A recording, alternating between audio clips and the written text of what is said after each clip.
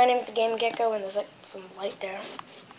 Anyway, my name's the Game Gecko, and today I found a compute. Well, we found a computer um, at Office Depot, and it's an HP laptop. I hope it's pretty good for gaming.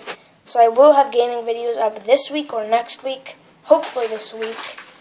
But anyway, later on I will be doing a vlog about the blood blood moon.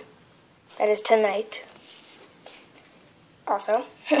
also I might be changing my name to well I'm not gonna tell you what to yet because I might change my name though. yeah, thank you guys so much for watching this video. If you did enjoy, hit that like button and subscribe for more videos and bye.